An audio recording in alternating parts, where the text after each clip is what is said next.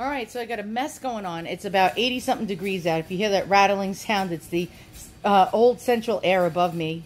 Um, so I'm trying to fix this antique teddy bear. I just did a video about him and how I found him on eBay. He's upside down right now because I'm trying to sew some paw pads on him. So I cut a bunch of patterns out. I used paper. Um, I don't know if this is going to be precise, but I got a different colored felt. So I'm messing around with that. I got invisible thread, which is uh, very hard to thread. And I'm going to try to fix his paw pads.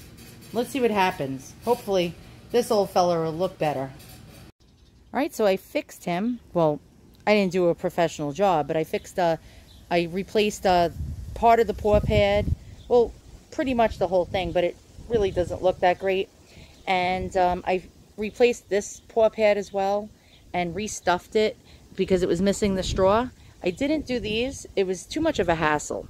Um, I'm not very good at um, sewing and especially using invisible thread. It was so hard to thread the needle and to even knot it. Um, it was really a nightmare, actually. But here he is. Um, I think he looks a little better. Um, not much better, but he's looking a little bit better. I gave him a little bow. Look how cute his little bow is. And uh, there he is, this very, very old teddy bear. Um, precisely how old, I don't know. But he looks to be a very early bear. Um, probably from the turn of the century, 1905 probably to 1910, I'm guessing. Um, I guess I'll never know. If you know who made him, please write it in the comments below. Could he be a Strunz bear?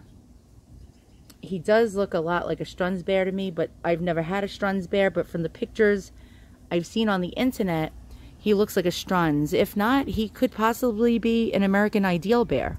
Um, he might not be German. All right, guys, so thank you so much for watching.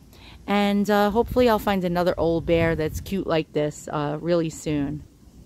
So long.